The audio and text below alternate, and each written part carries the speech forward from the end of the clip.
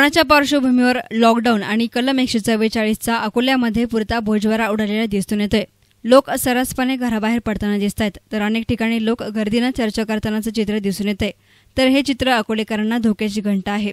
Police मात्र सुरुवातीला ज्या पद्धतीनं काम करत होते ते आज मात्र करताना दिसत नाहीये. त्यामुळे पोलिसांचा नागरिकांवरील धाक हा कमी झालाय.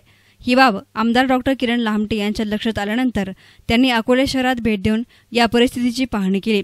कलम एकशे चव्वेचाळीसचे उल्लंघन करणाऱ्यांची गय केली जाणार नाही अशा सूचना आमदार लामटे यांनी पोलिसांना दिल्या. तर कालच मुख्यमंत्री ठाकरे यांचा फोन झाला असून जनतेला दिलासा द्या. हातावरचे कामगार मजूर कारागीर जे बाहेर गावचे असतील त्यांना मदत करण्याचं आवाहन मुख्यमंत्र्यांनी केल्याचं लामटे यांनी सांगितलं. तसेच नागरिकांना हात जोडून घरामध्ये राहण्याची विनंती केली आणि एकशे चव्वेचाळीस कलमांचं पालन करण्याचं आवाहन केलं.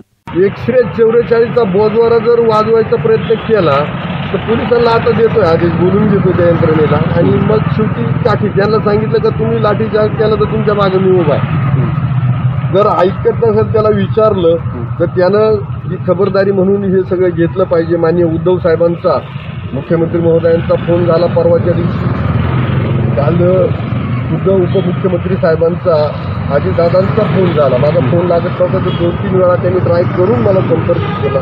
तालुक्याची परिस्थिती विचारली आणि दुसरं त्यांनी आव्हान केलं की जिथं कुठं आहात तिथंच थांबा. तिथं जर अडचणी येत असेल तर शासन तुम्हाला तिथं तुमची यंत्रणा जीवनावश्यक वस्तू तुम्हाला पोचवल्या जाणार आहे तिथल्या तिथं.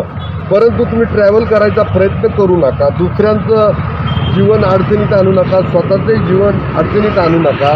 तुम्ही स्वतः तुमच्या कुटुंबासाठी खूप महत्त्वाची आहे. म्हणून प्रत्येकानं घरात राहणं ही सर्वात मोठी काळाची गरज आहे.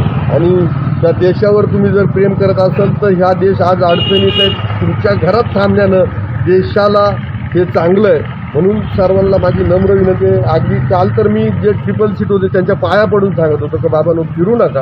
आता दांडा चालत नाही तिथं पाया पडणं सोडून पर्याय नाही. आता पोलिसांनाही सांगावं लागेल की यांच्या ठेवा डोकं पायावरती काय आहे आता? ओके ठीक आहे सर. धन्यवाद. Thank you news reporter Subhash Kharbas S आणि मीडिया अकोले.